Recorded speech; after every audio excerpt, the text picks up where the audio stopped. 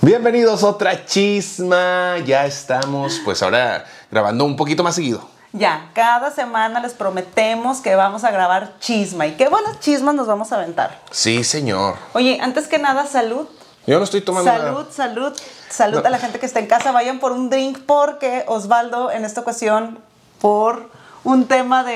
De cirugía, ¿Médico? de cirugía. Me voy a hacer una cirugía mañana. Me van a hacer unos análisis a las 8 de la mañana, entonces no puedo tomar nada. de- no va a tomar No, a nada. las 9 de la mañana los voy a hacer. Entonces, Nosotros vamos a echar nuestro drink. Ahí les va el tema. ¿Qué sueño seguiste a pesar de que todo tu alrededor te decía que no lo hicieras? ¿cuáles fueron esos sueños que te dijeron no sirves para eso? ¿Cuáles fueron esos sueños que te dijeron no lo hagas, güey, no vas a poder?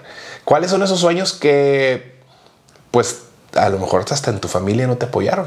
Ay, eso es súper común. Yo creo que... Pero qué feo. Sí, claro, pero es más común de lo que creemos. A mí me ha pasado. Ahora, digo, se nos hace muy fácil decirlo. Yo tenemos dos hijos.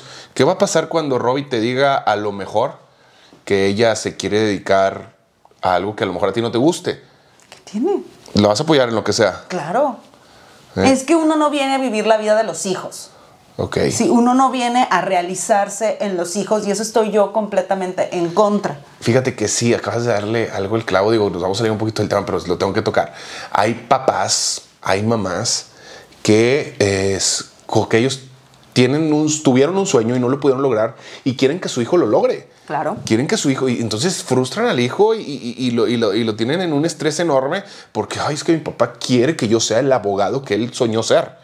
Sí, y fíjate que cuando yo hice esta pregunta abierta en mis redes sociales, tú sabes que mis seguidoras son buenasas en hacer interacción y platicar. chismosas, y bien desde que- chismosas como yo. Te dicen, te dicen cuando me tomo fotos con las muchachas y eso. Entonces, parte de eso, creo que esta cultura de quererte ver en los hijos es la que hace que muchos de nosotros de adultos tengamos miedo o es como, ay, es que qué va a decir mi familia, es que qué va a decir el vecino por lograr nuestros sueños.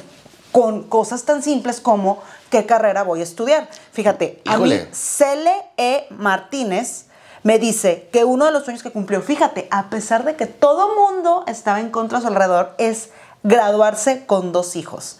Me parece imposible, pero lo logré. O sea, estudió teniendo dos hijos. Estudió teniendo dos hijos. Felicidades. Cele. ¿cómo? ¿Cuál es su Cele Instagram? MTZ. Estamos leyendo eh, los Instagrams porque nos, aquí Valeria, miren, aquí les mandaron todas las, las, las, las preguntas o, o- o- O las respuestas las más bien de, lo, de los sueños que, que te Sí, entonces felicidades. Cele MTZ, la neta, con dos hijos no es fácil.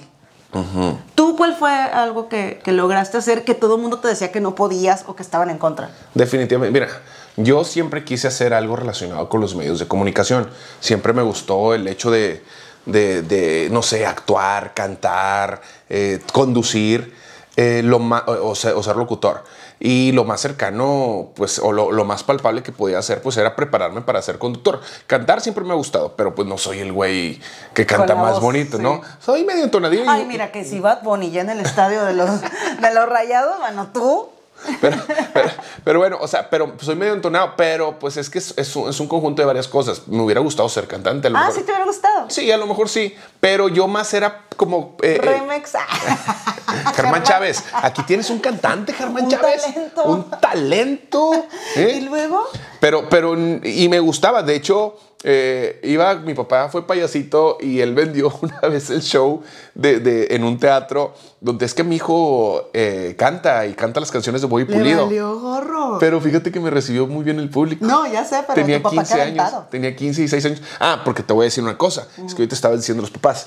Si alguien siempre creyó en mí, si alguien siempre apoyó mis sueños y si alguien siempre supo que yo me iba a destacar en los medios de comunica- de comunicación o en algún medio artístico, fue mi señor padre. Wow, claro. Y te, y te consta. lo digo con ganas de llorar porque eh, él, él confiaba mucho en mí. Mi papá siempre vio eh, esa estrella que él a lo mejor eh, Mm. quiso ser, pero no me forzaba a hacerlo.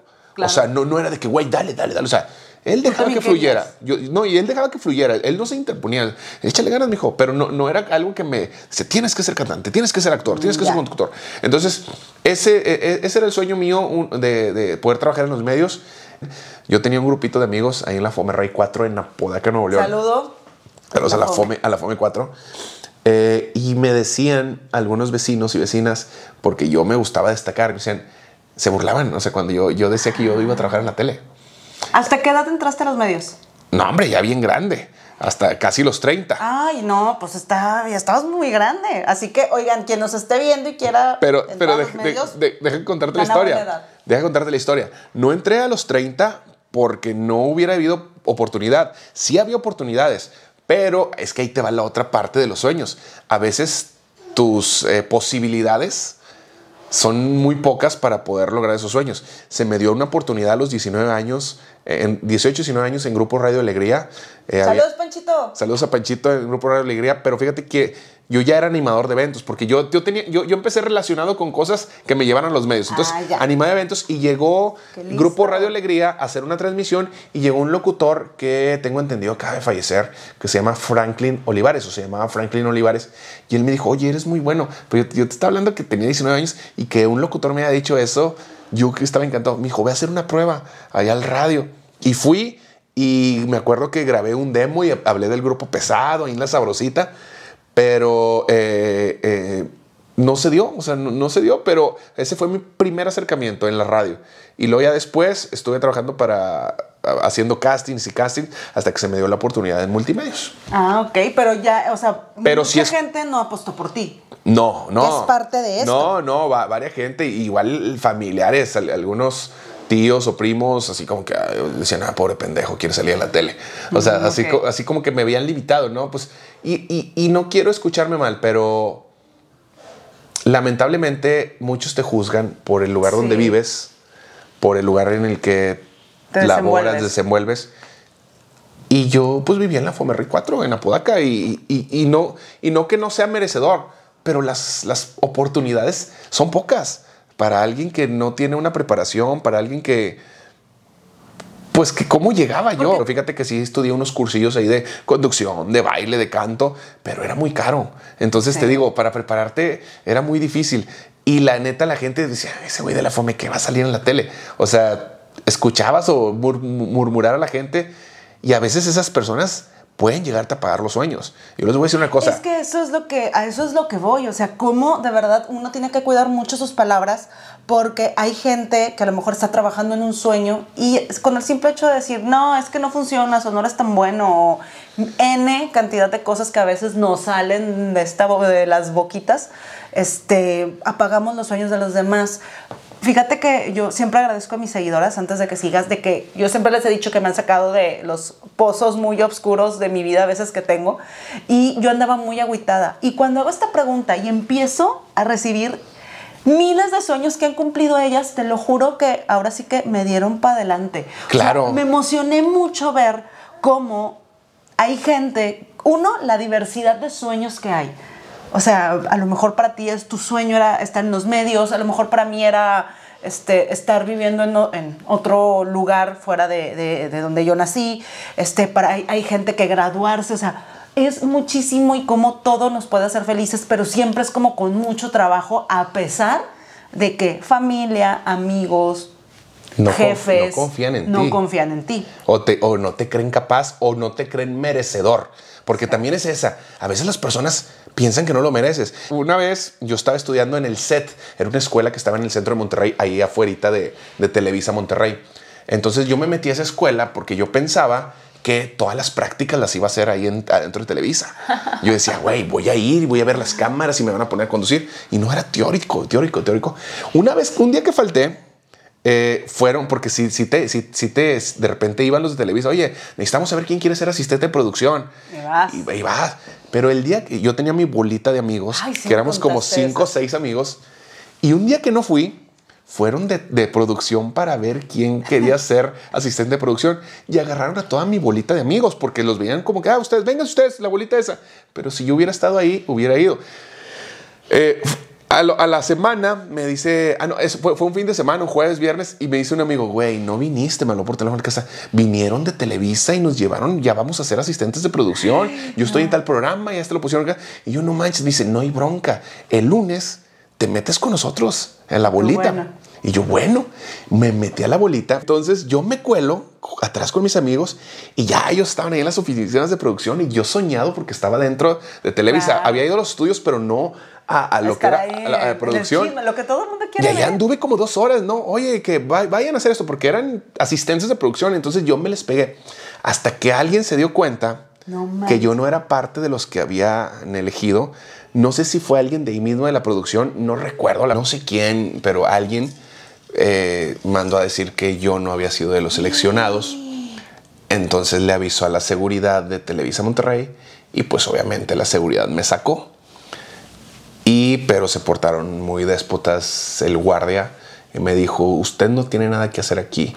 Usted jamás va a trabajar en los medios, usted O nunca... sea, un Un guardia, pero pues yo sentí feo, yo tenía, 10 yo tenía Claro. 19 años, pero también pues yo sabía que alguien de producción le había dicho a los guardias. Digo, yo también hice mal en colarme, ¿no? Pero pues era un Claro. chavo, o sea, yo quería buscar una oportunidad, o sea, Es que cuando tiene uno, tiene uno hambre de aprender y las ganas, pues uno pero deja tú lo que me dijo el guardia, o sea, esa persona de producción dijo, él no puede estar aquí, o sea, Claro, o sea, el guardia ya venía, o sea, porque sí, es la terapiado. realidad. Salí y me acuerdo que me fui bien agüitado y todos mis amigos ya estaban ahí. Y algunos siguen trabajando ahí en Televisa Monterrey. No manches. Sí.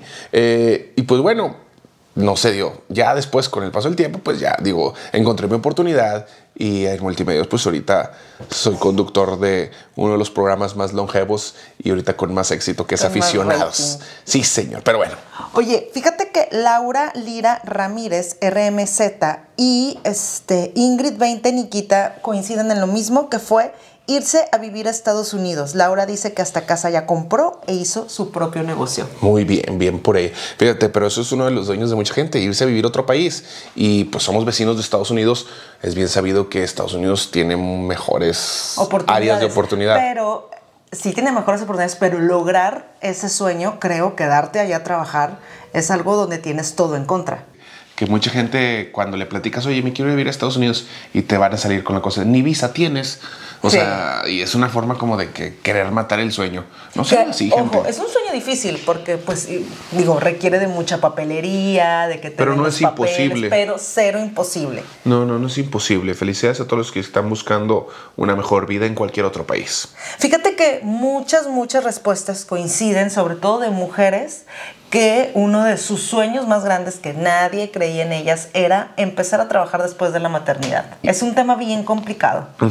Y te voy a decir por qué, amor, y hace poquito lo dije en un en vivo, y es que ahorita el tema laboral en México en sí no está preparado todavía para eso. Creo que todavía nos falta muchísimo camino para que pues las leyes laborales protejan más a las mamás trabajadoras. Esto lo digo desde el embarazo.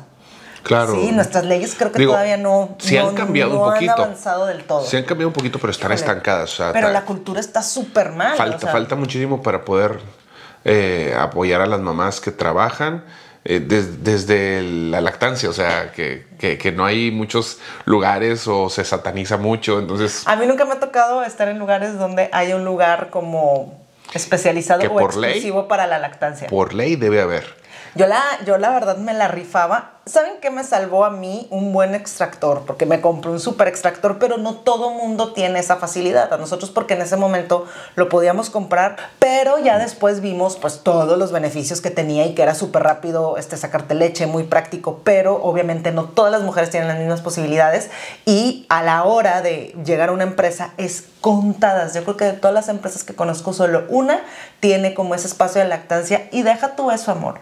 A la hora de buscar trabajo después de ser mamá, me ha También. tocado y lo he vivido así en carne propia que la gente de reclutamiento, de RH de las empresas, te preguntan, ¿y tienes hijos? Sí, ¿cuántos? Tantos. ¿Quién te los cuida? Pero es que si no sé qué. Y yo a veces decía, oye, pues no me los vas a cuidar tú. O sea, obviamente Ya si veré. estoy pidiendo trabajo es porque sé Sí, que pero hay tien- un las- horario. muchas empresas tienen la mentalidad de que no, me tiene hijos, va a estar faltando, va a estar llegando tarde, va a estar... muchos permisos y pues afortunadamente ahorita ya conocimos, gracias a la pandemia, el tema del home office, muchas personas lo empezaron a implementar en sus empresas y creo que eso también nos ha beneficiado, pero independientemente de eso, creo que no hay como esta cultura de entender a las mamás y, saber que las mujeres, híjole, tenemos una capacidad enorme, tengamos o no hijos. He dicho. He dicho, compañeras.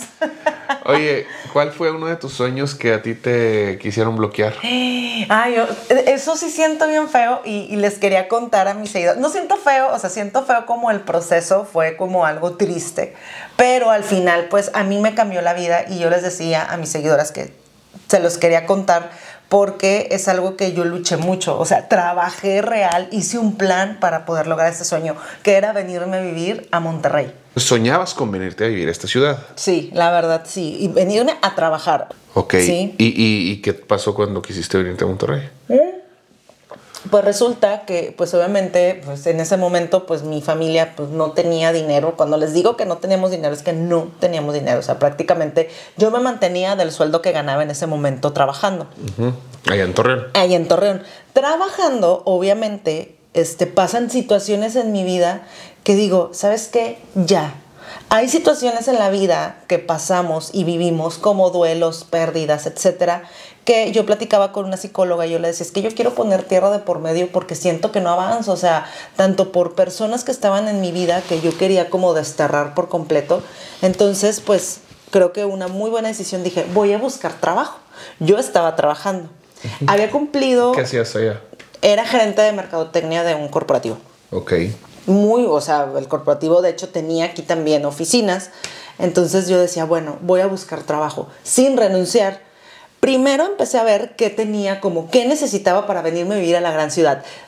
La verdad, yo tuve que sacar desde licencia de manejo, yo decía, necesito un carro, porque a Monterrey no me voy a ir sin carro. Entonces empecé a vender collares para poder pagar un carro. Y de puros collares que vendía, o sea, pagué mi carro. ¿Y dónde los vendías? En oficinas, o sea, tenía más amigas godines, entonces lo que hacía en la hora de comida, de 2 a 4, es que me iba a otras oficinas y ahí les dejaba los collares y después pasaba y ya pero, me decían. Pero empezaste a vender los collares porque era para cumplir tu sueño o, o... Sí, para comprar el carro. Ok. Porque yo sabía que si me venía sin carro a Monterrey, ¿qué iba a hacer? O sea, a lo que iba, o sea, dijiste, ¿qué me pongo a vender? Me pongo a vender collares. Ajá. Para comprar un carro y poder irme a Monterrey. Porque o sea, era lo, lo primero es, que tenía es, que hacer. Es que es a lo que voy, porque estoy, estás, estabas, estabas tejiendo tu sueño. Ajá, espérate. O sea, y, y mucha gente, ¿cómo empiezo? ¿Cómo empieza? Por algo muy simple, empezaste a vender collares. Sí, o sea, y de no ahí es tan empezó. difícil. Ah, y luego de ahí dije, pues voy a tener un carro, o sea, si estoy juntando para un carro necesito aprender a manejar, porque no sabía manejar.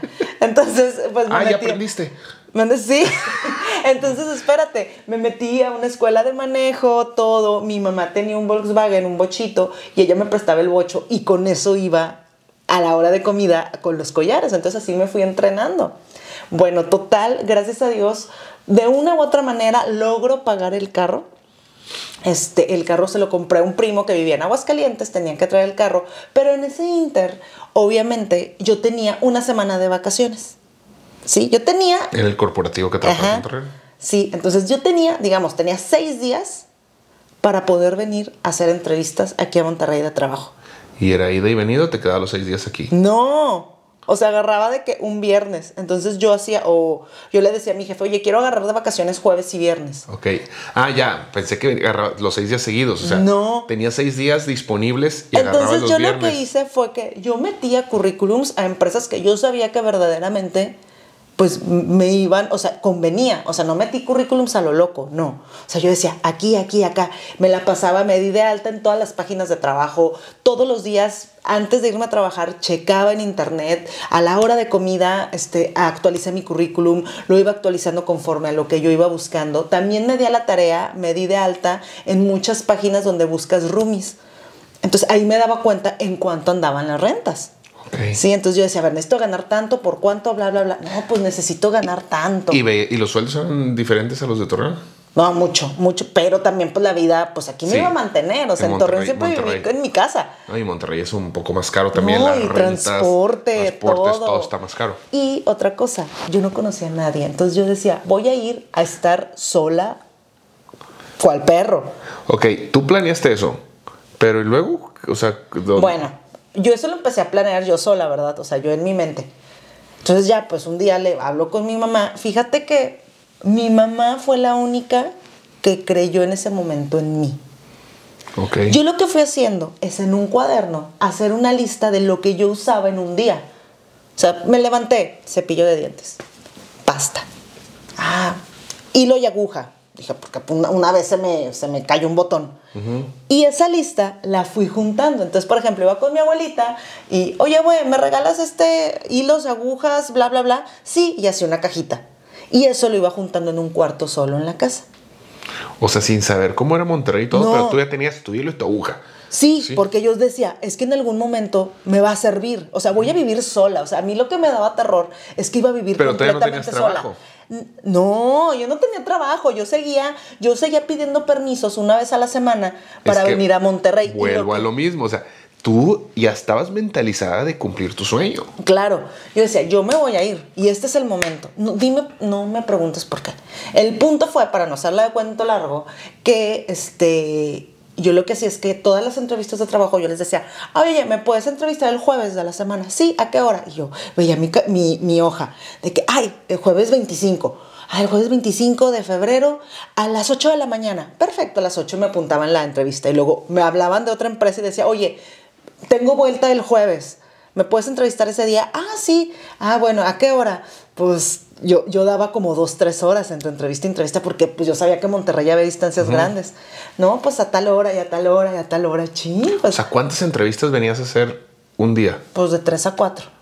Entrevistas de trabajo.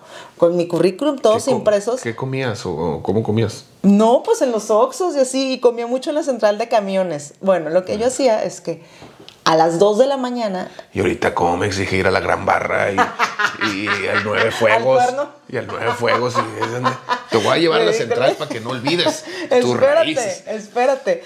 Total que tomaba el camión de Torreón a Monterrey a las 12 de la noche. ¿Dormías en el camión? Pero espérate, no podía dormir a gusto porque yo ya venía arreglada. O sea, yo no podía cargar maleta. Ah, no, porque no te ibas a hospedar. Ajá. Entonces, pues iba planchada así de, que, de godines, así tacones en la bolsa, currículums, otras, unas chanclitas y así me venía en el camión. Dormida sin querer así ni desarreglarme. Pues Ahora, ya llegaba, pe- pero- me pero- refrescaba en las entradas. Venías sola, o sea, tu mamá te apoyaba. Pues sí, pero yo venía sola. Entonces, pues yo agarraba Uber. Sí, para esto, pues te- tenía, saqué una tarjeta, saqué créditos. Saqué una tarjeta de crédito, saqué tarjeta de Liverpool, así de varios lados, porque me decían, oye, si no tienes un crédito, pues también cualquier emergencia, ¿qué va a pasar? Entonces, de ahí, pues ahí pagaba mi Uber. Entonces, de que órale, pues ahora ve aquí esta empresa, luego terminaba y a otra, y a otra, y a otra, a otra. Regresaba, haz de cuenta que, no sé, las agendaba un jueves, do- te digo, me venía en el camión, terminaba aquí como a las 8 y regresa a Torreón a las 9 de la noche. Y al día siguiente yo ya estaba en la oficina, En tu trabajo. en mi trabajo. Entonces yo tenía, ya llegó un momento en que yo tenía muchas opciones. Pero en una empresa que fu- fue la que me trajo a Monterrey, la verdad es que me pusieron todo. Este, me daban comida, me daban desayuno. O sea, No, pues, la, la empresa madre. subsidiaba el desayuno, la comida y muchísimas prestaciones y súper seguro el lugar. Yo también buscaba mucho eso. Yo tenía mucho miedo que me pasara algo y que pues estar sola aquí desde que se me po- ponchara una llanta. Entonces obviamente pues me traje mi carro con seguro, con todo y pues llegué ahora sí que hasta con el perico. O sea, yo me acuerdo que mi hermana y en ese entonces mi cuñado me trajeron mis cosas. Oye, pero ¿dónde estuvo el, el bloqueo? ¿O, o- o- qué bueno, pasó? Eso fue lo padre, ¿verdad? Todo el mundo dice, oye Valeria, qué padre, oye, qué, qué padre que fuiste persistente en tu sueño y que lo planeaste bien. Las personas, Pero las personas que no creyeron en ti, ¿qué te decían? te voy a decir algo. Cuando yo les digo a la gente que más quiero, de que, oigan, me quiero ir a, vi- a vivir a Monterrey, voy a ir a trabajar, te lo juro, amor, que se rieron de mí en mi cara. Así, de que ja, ja, ja. Así fueron palabras de que, o sea, Valeria, ¿tú qué sabes? O sea, ¿tú sabes cuánto cuestan las rentas allá? Y yo, sí, tanto, por tanto, por tanto. No es cierto. Monterrey es carísimo. No, no la vas a hacer. O sea, no me creían con la capacidad de ganar un buen sueldo. ¿Y qué sentiste en ese momento? Horrible. Te voy a decir qué momento, te lo juro que fue un momento de mucha tristeza, pero hagan de cuenta que como dicen, me dio la patada para irme para adelante. O sea, en vez de sentir el golpe de la patada, esa patada me empujó. Estaba yo acostada y yo tenía en el cuarto ya toda mi ropa preparada. Para esto yo ya tenía el trabajo. Ya había elegido la empresa, que a nadie le había dicho. Ok. Llegan, estoy yo dormida y estas personas se asoman al cuarto donde yo tenía todo preparado y dicen, oye, ¿qué es todo esto? Porque aparte yo compré esta plancha de vapor, o sea, yo compré todo, yo me iba estabas comprando preparado. todo. Tú, tú traías tu sueño bien abrazado No, y sabías que lo ibas a lograr. Y completamente planeado. O sea, yo, yo tenía una recámara llena de cosas que me podrían servir viviendo sola. Entonces, este, ven y dicen, le preguntan a mi abuelita, ¿qué es todo esto? Y mi abuelita les dice, ay, Valeria, que se quiere ir a Monterrey según esto. Y se empiezan a burlar de mí. De que, Eh, ja, eh. Ellos saben que tú escuchaste eso. No sé. A lo mejor se están enterando ahorita. Y No voy a luego. decir sus nombres porque es mi familia. Ay, qué fuerte. Pero ojo, digo, y no, no tanto que se hayan burlado, pero No, sí se burlaron de mí. bueno, bueno, ahorita te doy mi punto de vista, dale. Sí, o sea, la neta es que sí se burlaron. O sea, sí fue así como que se empezaron a reír y de que, ay, o sea, O sea, ya que vas a ver. Sí, porque no esperaron que yo ya estuviera despierta. Yo venía de una fiesta bastante hardcore y eran como las 12 del día y yo no me estaba, yo no estaba despierta. Entonces decían, pues está bien dormida. Era un domingo y pues llegaron en la mañana y pues burlándose. O sea, literal fue así de que, ja, ja, ja, es que cómo, o sea, ella que sabe, ella no tiene la capacidad. O sea, ¿Cuántos años tenías? hasta crees que se va a ir. Pues yo creo que como Bueno, X. 29, 30. Ah, no. Tenía menos de 30 años. Creo que cumplí los 30 años aquí en Monterrey. O sea, ya eras una mujer hecha y derecha, no eras una Sí. huerquita. Y, y como quiera no, no creían No, en tu jamás. capacidad. No, no, no, no. Es que la creer en mi capacidad era nula. Entonces, obviamente, se rieron mucho de mí. Y yo me acuerdo que allí acostada lloré. O sea, me dio mucho coraje, lloré y dije, me tengo que ir. Ahí fue donde tomé la decisión a qué empresa irme, porque tenía varias opciones. Y dije, esta empresa me va a hacer crecer, porque la empresa donde, por la que yo me vine a trabajar a Monterrey, pues es una de las más importantes. Esa empresa es de las más corporativos más importantes a nivel educativo en Latinoamérica y fue una oportunidad que me salió. Creyeron en mí porque pues mucha experiencia no tenía a lo que yo iba a trabajar y al final del día fue una experiencia increíble de lo cual estoy agradecida, Shelha Baena, gracias, porque fue gente que creyó en mí, me trajo a trabajar aquí y la neta es que pues haces familia. Duré sola muchísimo tiempo, fue bien difícil. Este, entiendo a la gente que, que dice, me fui a otro país, me fui a otro estado. Yo me acuerdo que yo no me quería vivir, no me quería ir a vivir a Ciudad de México. Me hablaban de Ciudad de México, yo no quería, yo decía, Monterrey. Yo desde chiquita, y pregúntale a mi mamá, yo le decía, es que yo voy a vivir en Monterrey, yo voy a vivir en Monterrey. Y cuando les digo que cambió la vida, que me cambió la vida, es porque precisamente yo sabía, no sé cómo, desde muy niña que mi destino estaba aquí. Y por eso luché tanto, porque yo decía, es que ya me va a ir bien, o sea, Pero- yo no soy de aquí. Pero fíjate, desde muy pequeña tú traías tu enfoque Claro, en lo claro, que querías. por supuesto. ¿Qué le puedes decir a esa gente que de repente, digo, porque tú lo viviste en carne propia, que la familia no los apoya? Ay, no me dan ganas de llorar. Me dan ganas de llorar. Porque no eres el único caso.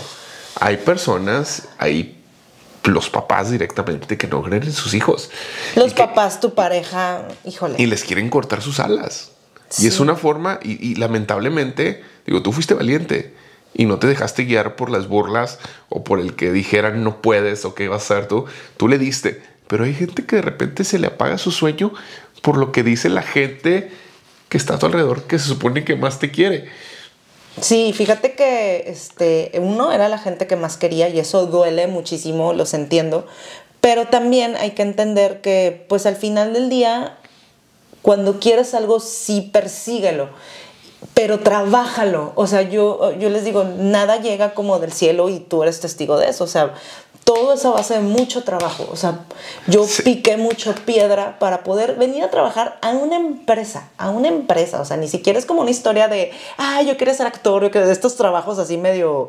No. Yo quería venirme y de verdad mis posibilidades eran nulas. Yo no tenía apoyo absolutamente de nada. El único apoyo que yo tenía extra a lo que yo hacía era el sí de mi mamá. El yo sí creo que te vas a ir. Ok. Eso fue lo único que yo tenía, porque nadie, nadie, Dios nadie. bendiga, dele. Sí, inclusive estando aquí en Monterrey, todavía unos meses le decían a mi mamá, se va a regresar. No va a aguantar, Valeria no es responsable. Y yo sé que muchas veces uno se lo busca, o sea, obviamente, pues no creían en mí por cosas que también yo hacía. Ah, pues eras bien pedota. Pero realmente todos tenemos esa capacidad. Y, y, ahora como, como papás, quiero llorar, este, como papás tenemos como esa responsabilidad. Claro. Es bien feo cuando la gente que amas no cree en ti y tener que salir así. O sea, yo no quiero que mi hija pase por esa soledad que yo viví en una ciudad donde no conocía a nadie. Jamás. Entonces yo sí les digo, uno, a los papás, apoyen a sus hijos. Si tienen que apoyar a sus hijos. Y a ti, joven, a ti, señora, ya mamá, que si tu esposo no cree en ti, si quieres estudiar después de tener hijos, lo que tú quieras hacer, lucha por él, trabájalo. Lo tenemos que trabajar, nada llega del cielo gratis, pero nunca lo dejes, nunca lo eches como por la borda. Honestamente, no sé qué hubiera sido de mí si yo hubiera seguido en Torreón. Yo les puedo decir que a mí me cambió la vida cuando me dieron una patada en el trasero y me sirvió de impulso. Yo estoy aquí y no me creo la familia tan bonita que tengo y lo que he crecido a nivel como persona. Ánimo. yo les digo. Son lágrimas de felicidad. Yo les digo a esas personas que tienen a su alrededor a alguien pequeñito o a alguien joven que tiene muchos sueños, no, no les aplaste su sueño. Déjalos que crean, déjalos que sueñen. No les digan no puedes. Sea, sea, tu sobrino, sea tu hijo, sea tu hermano, sea tu cuñado. Güey, dile, va, apóyalos, chingados. O sea, porque de verdad es bien feo que, que, que no sientes apoyo y, y, pero yo creo que ahorita sientes mucha satisfacción de lo que has logrado. Y te voy a decir algo. Jamás guardé como un rencor. No, no, no, no, no. Porque obviamente, y eso también, cuando logras tu sueño, tienes que trabajar todo eso. Yo me metí a muchísimas terapias aquí en Monterrey, pues como no conocía a nadie, pues mi escape era encontrar cursos, terapias, bla, bla, bla. Me llené de buena información y eso me hizo como mejor ser humano y creo que por eso me salieron las cosas. Porque al momento de tener todo eso, porque me empezó a ir muy bien aquí, hasta la fecha, te lo juro que no me la creo, todo lo que he logrado. Este, Aparte encontraste muy bien guapo. No, y la familia que he logrado. Entonces, gracias a eso es porque hubo un trabajo después, donde sanas infancias, sanas heridas, esas burlas, las, las canalizas de otra forma. Las canalizas y sabes que te puedo apostar que esa gente que habló, ni siquiera se dio cuenta de lo que hizo. Porque a veces, como les decía al principio del video, hablamos por hablar, no tenemos filtros y no sabemos las batallas de cada quien. Pero ánimo, amor. O sea, yo, sí creo en ti. Claro, yo lo sé, por eso estoy contigo. Y yo sé que también crees en mí. Pero todavía tenemos muchos sueños juntos. Hay muchos sueños por realizar y yo sé que la gente que nos está viendo también tiene muchos sueños. Luchen. Aunque se escuche muy trillado, lucha por tus sueños. Se puede, sí se puede. A lo mejor van a decir, ay, güey, trabajar en multimedios, ¿qué, qué, qué puede ser? Pero era un sueño. Yo quería salir en la tele, güey. Y gracias a que trabajé en multimedios, eso me llevó a, a, TV Azteca y me llevó que alguna vez me hayan buscado de Univision Miami y me llevó a, a tener mi propio programa en TV Azteca Internacional y, y, y, y, me llevó a que, aunque una vez me sacaron a patadas de Televisa Monterrey, en alguna ocasión me buscó Televisa México de Banda Max para invitarme a hacer un casting y yo digo, güey, claro que sí se podía. Tú, guardia pedorro que me dijo, nunca vas a trabajar en los medios. Sí pude, sí pude, güey. ¿eh? Y respeto a todo, pero en ese momento sentí mucho coraje. Y también yo me acuerdo que lloré. En alguna ocasión, pues, digo, eh, eh, cuando trabajas en televisión y todo eso, haces castings y todo, Ajá. y ves que a veces se fijan mucho en el tipo de ropa que traes o en la marca o, o simplemente en que eres moreno o eres de alguna forma y te discriminan y se siente ojete. Claro. Porque no ven más allá, o sea, lamentablemente vivimos en una sociedad que te etiqueta de mala forma sin antes conocerte, pero bueno, Así es, este, y es, y es, con lo que hay que lidiar para los sueños. Y bueno, pues aquí muchísima gente este, nos compartió sus sueños, desde ser mamá cuando los médicos no te decían, también este, trabajar después de una niña de 2.8 meses. Por, es muchos de ser mamá, hay muchas mujeres que su sueño es ser mamá, este, abrir un negocio en pandemia. tener su propio negocio. ¿Conoces, emprender. ¿Conoces a alguien que haya cumplido su sueño? ¿Algún amigo, alguna, a un familiar que le haya costado y que lo haya cumplido? Híjole, este, así como que en grande. Ajá. Ay, no sé, déjame lo pienso. Yo sí. A ver. Garza Jr. Sí. Humberto Garza, el hijo del ninja. Es alguien que admiro muchísimo, es alguien que le llevo 10 años, pero desde que lo conocí siempre ha sido un cabrón bien trabajador. Eh, recuerdo que cuando llegó a Multimedios, no, no tengo el dato específico, pero según yo ganaba muy poquito por lucha, o sea, y estaba chavito, tendría 18 años y digo, no quiero pecar de, de, de De imprudente, pero, pero creo que le pagaban 300 pesos por lucha y era una chinga. Pero él siempre tuvo el objetivo de llegar lejos, amor. Y hoy por hoy se está convertido en uno de los luchadores en crecimiento y yo le veo un futuro impresionante y veo que mucha gente lo critica a través de las redes sociales. Digo, a él le vale madre, pero digo, güey, ¿por qué critican eso? Porque, ay, sí, pero estuvo en multimedios. Sí, pero se ponía una botarga de delfín. Sí, pero el delfín. Sí, pero no sé qué. Sí, pero se peleaba con Conan. Güey, pues sí, gracias a eso llegó a cumplir su sueño. Porque el sueño, o sea, ¿qué quieres? Que de repente ya llegues a la WWE, a- o sea, allá a, a- a Orlando, donde, donde vive en Florida. Pues no, güey, tuvo que pasar, tuvo que escalar varias cosas, pero consiguió su sueño. Claro. Y le está yendo impresionante. Carnal, sabes que te quiero mucho y me da gusto cada logro que estás haciendo. Otro de sus sueños, que era igual que el mío, era formar una familia. Y ahorita estoy bien feliz porque va a tener una niña, se va a convertir en papá. Y, y es un cabrón que, que luchaba por hacer una una familia. familia. Él quería casarse. Él, él, él buscaba el amor de una persona que le diera una familia. Y estoy bien feliz de que haya encontrado a Saide. Les mando un abrazo. Los queremos mucho. Los queremos mucho, mucho. Y ya muchísimo. me los vamos a visitar allá. Pronto, pronto vamos a andar allá en Florida. Sí, esperemos. Pero bueno, amor, hay demasiados sueños que nos han compartido. Por ejemplo, mi mamá, hasta mi mamá mandó su sueño, dice cantar y dar conferencias de risoterapia. Y me consta que siempre lo quiso hacer y hasta que tenía 50 años lo logró. Pero es que no hay, no hay límites. O sea, está, es bien sabido que, por mi ejemplo. mamá le gusta participar Oye, también. Chespirito empezó su carrera después de los 40. Ya. Eh, y por ahí leí, no sé si sea cierto, lo del coronel Sams, el, el de fundador Ah, del de Kentucky, Kentucky. empezó a los 60 años. O sea, Pues sí, porque su imagen es ya viejita. ajá. Este, también nos dicen, por ejemplo, Esperanza Hernández, estudiar comunicación y terminar mi carrera un año de graduarme. Me casé y lo logré. Poner mi propio negocio, este, Cintia Gáez, estudiar en la facultad, Janet Padilla, estudiar mi prepa a los treinta y tantos, este, Es que no hay límites, porque mucha gente a veces dice, oye, güey, no, pues es o que les da pena. Ya para qué estudio, ya tengo hijos, ya me casé. No, hombre, me van a ver bien grande. No, denle, chingado. Fíjate, Lisette Saucedo, estudié educación, todos me decían que pagaban una miseria. Y sí, pero fui muy feliz. Es que es- esa es la otra. Güey, mi sueño es este. O sea, también en la tele no pagan tan chido. Pero era mi sueño, chingado. y de hecho la tele no es lo que nos mantiene. No. No, no, no. es- son mis bailes eróticos que hago de, de stripper. Y bueno, también Mariana este, RG dice que me compré mi carrito y me llevé a mi hija de viaje a la playa. Todo esfuerzo de mi trabajo este, pues dio resultados. ¿Hay algún sueño que te falte por cumplir? Hay muchísimos, muchísimos. Pero uno que tengas así muy cerca. Otro de mis sueños era ser papá.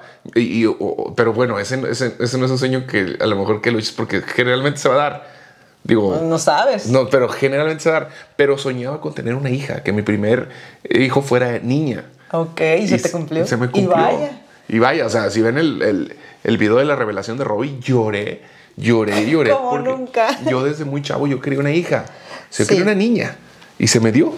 Bueno, a mí... ¿Algún eso- país que quieras conocer? No, ahí te ¿Que va. Un sueño? sueño? ahí te va. Un sueño que a mí me gustaría cumplir y que creo lo estoy empezando a trabajar porque vienen proyectos nuevos. Es que la verdad yo nunca esperé tener una cuenta de Instagram. Y O tener una comunidad. Espérame.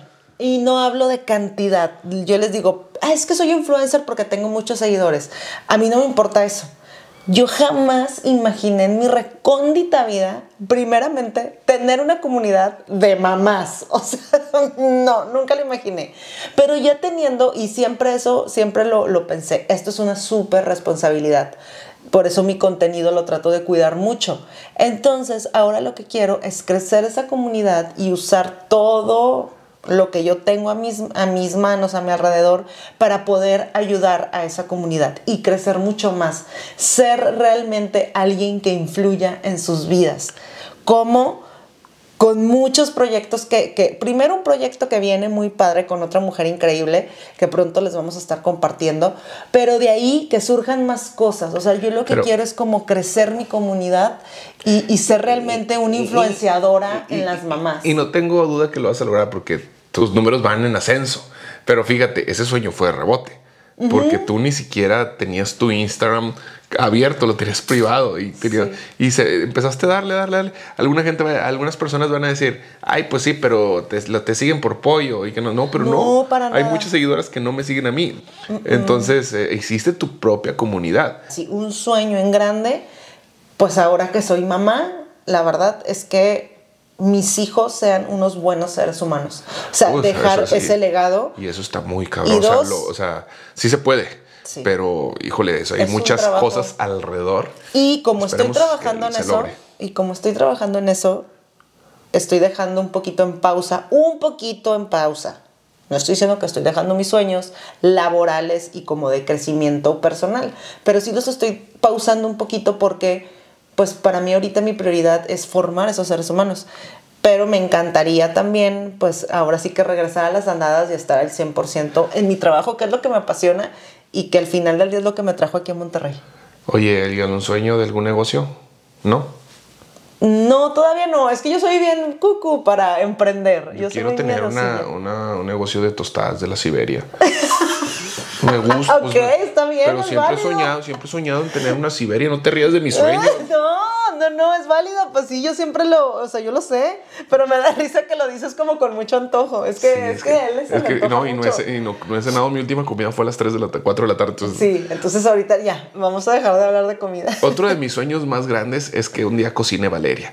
Sí, por favor, enséñenme. Ya me dijeron que viera videos en internet. Ya Oigan. se los prometo que sí. Ya nos vamos a despedir, les agradecemos mucho, les mandamos un abrazo, síguete suscribiendo a nuestro canal y mándanos tus sugerencias para que nos digas de qué quieres que hablemos. Sí, de verdad, díganos de qué les interesaría que hablemos, algún tema. De todos modos, en mi Instagram siempre está abierto y siempre hacemos preguntas para que ustedes también participen en la chisma. Y muchísimas gracias por todo su apoyo. Los esperamos la próxima semana. Nos vemos, bye bye. Bye.